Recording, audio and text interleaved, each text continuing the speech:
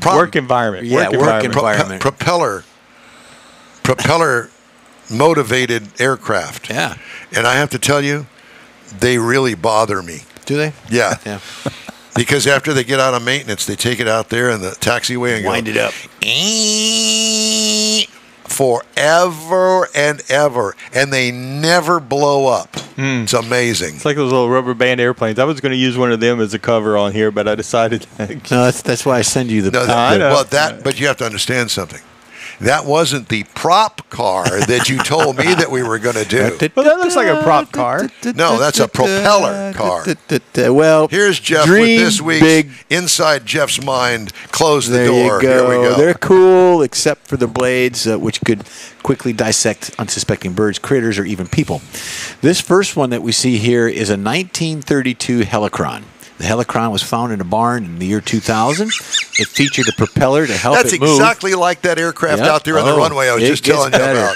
it's believed to have been abandoned in the late 1930s and underwent a restoration to bring it back to life. Why? The propellers would have proved to be a real man eater.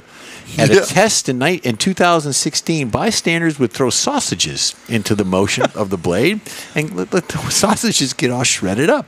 Yeah. Yeah. uh, Great. it actually has a Citroen. July 4th idea. Yeah, Citroen GS flat four engine in it, and it goes about 75 miles per Oh, Citroen. hour. You're talking about a Citroen. Citroen. Yes. Citroen. One of them French things. Yep. How This- about this beauty here? It's a 1921 Leyat Helica. The 1921 Leyat Helica is one of 30 built by Frenchman Marcel Leyat. He originally built airplanes before creating the propeller powered land vehicle. His early thoughts were cars were too heavy and he wanted to create something more lightweight and aerodynamic. This particular one uses a Harley Davidson V twin engine, 18 horsepower, 1000 cc's, and it helps propel the vehicle at a top speed of 106 miles per hour. So I assume that the propeller is in front of the driver. I Yeah. yeah, I would assume that. Yeah, Here's a good one. this one's a Stuttgart Ventomobile. Stuttgart, Stuttgart. Ventomobile. Uh, this one is powered. Uh, it's a newer propeller operated vehicle. This is one of the newer ones. Uh, the propeller acts as a wind turbine and uses moving air to propel the car in the back wheels. So that's that's kind of a unique design. It's kind of new. Um, This uh, the vehicle was created by the Stuttgart University Aerospace. so do you get out and push it to get the, the wind That- to I- go through the I- blade? I Or don't know, but we need to take it out to uh, uh, the track next Saturday. Um, Yeah. Stuttgart University aerospace engineer students in 2008 designed it, and they went on to win first place in the Aeolus race of the Dutch town of Dan Helder. So I remember that I out. remember old Dan. I think he was a musician. This next one is a Schlorwagen. Oh, what? A Schlorwagen. Schlorwagen. The automobile is a vision brought to life by a German engineer, Karl Schlor. Uh, the man. oddly shaped car was designed to be a Looks like a contender for setting new records in the Autobahn. Sadly, it never got close to living to that dream. Uh, Schlor had got a lot real sour taste I to it. No, it's a picklish. Uh, knowledge of planes and wanted to bring some of that to the tech auto industry. The original concept was built in 1936 and showcased at the 1939 Berlin Auto Show.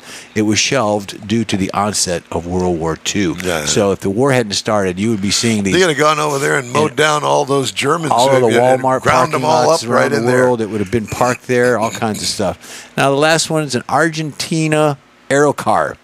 Uh, it's a prototype from Argentina that was created in 1953. There are claims that it was able to travel up to 100 miles per hour. There was a time when there was speculation that it would be considered for mass production in the United States, which never happened. Uh, also, there was rumors fueled that uh, interest by the Chrysler Corporation showed in the car that would ultimately meet its demise in 1955. So it was actually a car up until 1955. There you go. Huh. Propeller-driven automobiles. I have so many thoughts in my mind right now about what to do with the prop cars. Prop cars. You know, uh, it's interesting. Where did you come up with the, that idea to, to do a feature on propeller cars? I just do stuff on the interweb and kind of look for things to do, and that popped up as one of the. He does a search for stupid car stuff. well, I mean, It's Hey, interesting. It's, funny. It's nothing to complain about. I'm not complaining at all. I'm uh, Not since 938. Not no, well, there you go. So If folks are just joining us, you need to tune back into the 938 part of the show. Yeah, don't do that. Catch it on the podcast. Catch it on the podcast Catch it later on the on. podcast. When when would the 938 podcast uh, that air, be Mars? Thursday? Is that Thursday. Thursday? Thursday. Thursday podcast. Okay. Hey, today's In Wheel Time Car Talk Show is sponsored by the group of original Lupe Tortilla restaurants in Houston, Beaumont, and College Station. Also, Gulf Coast Auto Shield and our friends over at Pro Am Auto Accessories. The In Wheel Time Car Talk Show continues right after this quick break.